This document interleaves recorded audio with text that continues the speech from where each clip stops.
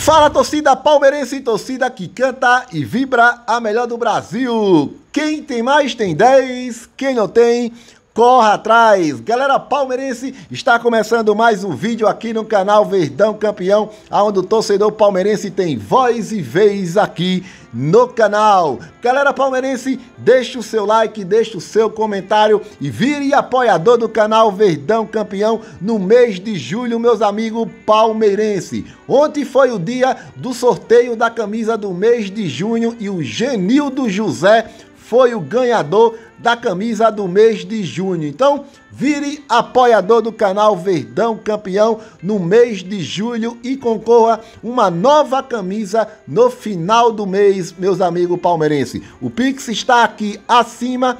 É, a cada 10 reais você ganha um bilhete para concorrer essa camisa no final do mês, sorteio lá no Instagram do Verdão Campeão 99, porque aqui no YouTube não pode. Então, apoie o canal Verdão Campeão. Galera palmeirense, já vou começar o vídeo de hoje com uma grande polêmica que foi divulgado hoje, meus amigos palmeirense. Trata-se do volante aí, do volante não, perdão, do lateral Jorge, que vem recebendo bastante crítica pela torcida do Palmeiras porque não está jogando nada, meus amigos palmeirenses, e ainda dizem que o cara recebe um milhão de reais no Palmeiras. É brincadeira ou não? Primeiramente, o Jorge foi confirmado com Covid na quarta-feira, por isso que ele foi afastado do jogo de quarta-feira da Libertadores. E hoje vazou um vídeo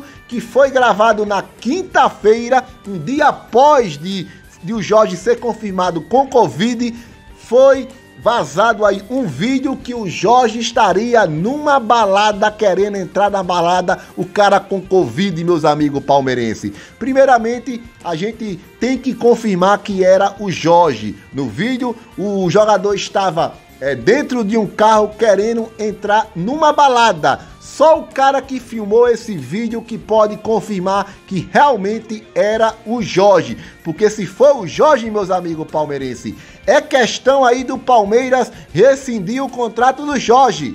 Porque é um absurdo. O cara com Covid querendo entrar na balada tá de brincadeira com a cara do torcedor palmeirense meus amigos palmeirenses. Mas ainda não podemos confirmar que realmente era o Jorge, mas parecia muito. Eu vi o vídeo e parecia muito com ele, mas se for verdade, quero saber a sua opinião aí, meus amigos palmeirense. Então, galera palmeirense, vamos para notícias boas agora aqui no canal Verdão Campeão. Olhe bem, três reforços confirmados desistência de volante e polêmica por negócio. A maratona de jogos do Palmeiras continua. Dois dias depois de vencer o Cerro Portenho no Paraguai pela Libertadores, o elenco finalizou preparação para receber o Atlético Paranaense neste sábado no Allianz Parque pelo, pelo Brasileirão 2022.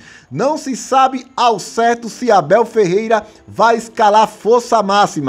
Como o próprio treinador diz, terá que equalizar as energias e entender que tem condições ou não. Diante do Cerro, na quarta-feira que vem, é bem provável que o time seja modificado, principalmente pela tranquilidade no placar construído fora de casa. Elenco ganha três novidades no mês de julho, meus amigos palmeirenses. Neste mês, o Palmeiras ganhará o reforço de três novos jogadores, muito importante, meus amigos palmeirenses. Miguel Merentiel, José Manuel Lopes e o fenômeno Hendrick completa 16 anos neste mês. E se o Abel quiser, pode colocar o jogador para jogar, meus amigos palmeirenses. O garoto Hendrick é cercado de grande expectativa por parte da torcida e da comissão técnica do Palmeiras. Mas calma, o Abel já disse de forma antecipada que não vai queimar etapas com o jogador. Então, vai estar nas mãos do Abel Ferreira ele colocar o garoto Hendrick ou não, meus amigos palmeirenses. Mas a grande notícia é que os dois centroavantes que o Palmeiras contratou nesse mês vão poder estrear com a camisa do Palmeiras, meus amigos palmeirense. Vamos lá, sem novo volante, a diretoria palmeirense não investirá forte na chegada de um novo volante para substituir Jailson. O atleta passou por cirurgia e só deve voltar em 2023.